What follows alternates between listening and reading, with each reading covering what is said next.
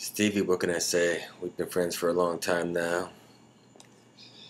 You're sort of my man crush, I admit. I've loved you all my life, dude. Your handsome eyes and the way you conduct yourself. So on your birthday, I just want to say this. Happy